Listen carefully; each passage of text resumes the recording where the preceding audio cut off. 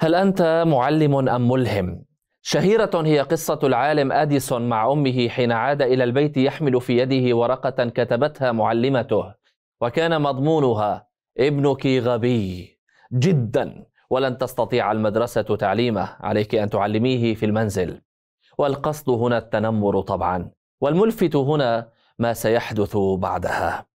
إيمان أم بابنها وذكاء تربوي غير وجه البشرية. ربما من الغريب تصديق أن عالما مثل أديسون كان في نظر معلمته الغبي الذي لا يفقه شيئا. العديم الفائدة البطيء الفهم. دعونا نتساءل ماذا لو حملت معلمة أديسون راية إلهامه؟ واكتسبت شرف صناعة عظيم أضاء ظلام الإنسانية. ماذا لو كانت ملهمة لا مجرد معلمة؟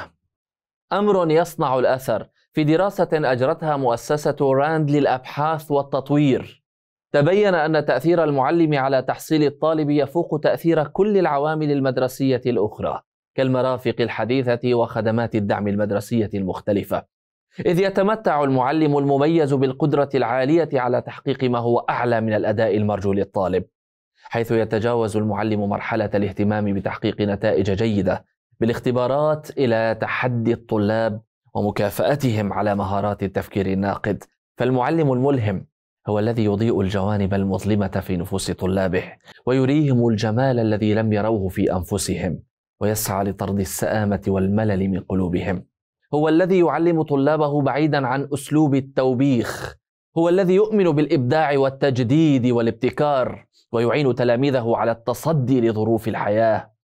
ويؤمن أن التعليم ليس وظيفة عادية بل طريقا للسعادة.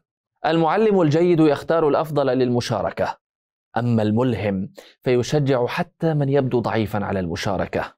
من دون خوف من النتائج فمجرد المشاركة عنده هو أمر يستحق الثناء.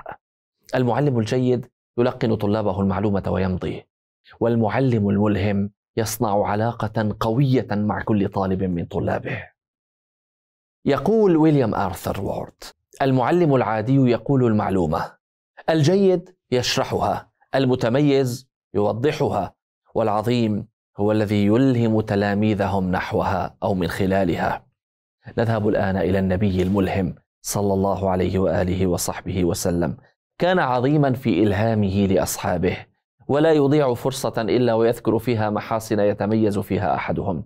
فيقول أبو هريرة قلت يا رسول الله يقول رضي الله عنه للنبي من أسعد الناس بشفاعتك يوم القيامة؟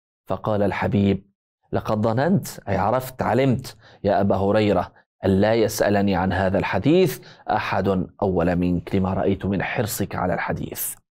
نرى هنا الثناء على السؤال والإشارة إلى فضل السائل قبل الإتيان بالجواب ثم أجابه أسعد الناس بشفاعتي يوم القيامة من قال كذا وكذا خالصة. هي كلمات قليلة لكنه بث عبرها في نفس تلميذه الثقة بأن يكون من أوائل من يحرص على الحديث. فكان ذلك حقا كما نم في قلبه الحب لمعلمه. قد ينسى المعلمون أسماء طلابهم على مر السنوات أو العكس لكن طالبا ذاق حلاوة الإلهام لن ينسى معلما بث في نفسه العزيمة وشد في قلبه حبل الحب وأنار له ذلك الجانب المظلم الذي صار فيه بعد منارة للآخرين. أخبرونا عن ذلك المعلم الذي أثر فيك أو المعلمة. والسلام.